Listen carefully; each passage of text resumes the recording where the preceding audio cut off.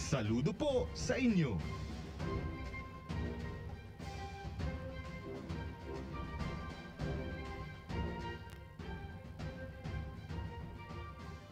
Ang ating construction.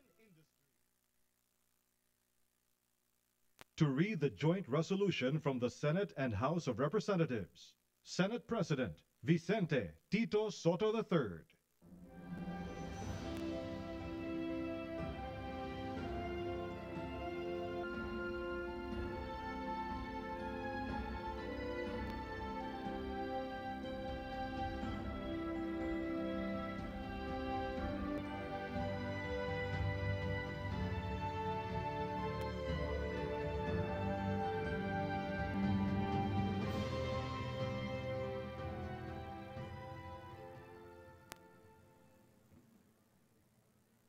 As the Senate President and co-chair of the joint public session of Congress that canvassed the votes for presidential and vice presidential candidates in the national elections held on the 9th of May, 2022. It is my distinct honor and privilege to join you in this historic occasion and read the dispositive portion of the resolution of both houses, which proclaimed the duly elected President and Vice President of the Republic of the Philippines. The dispositive portion of the said resolution reads as follows. Resolved further to declare that candidate Ferdinand Bongbong Marcos Romualdez Marcos Jr.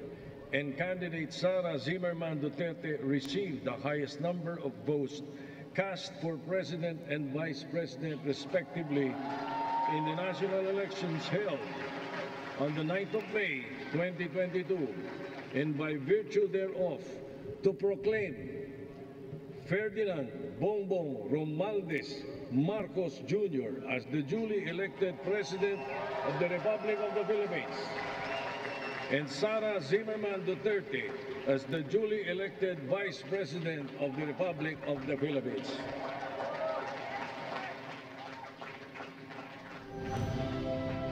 To administer the oath of office to President-elect Ferdinand Romualdez Marcos Jr., Chief Justice Alexander G. Gesmundo.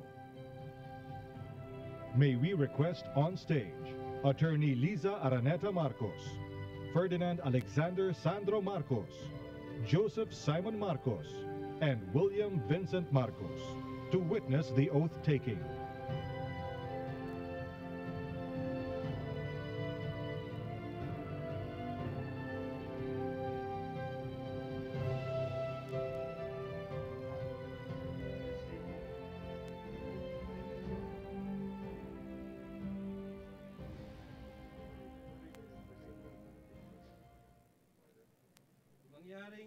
Mangyaring taas ang kanang kamay at wikain ang mga sumusunod.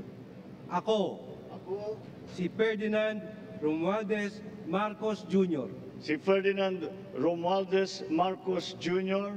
ay mataimtim na nanunumpa.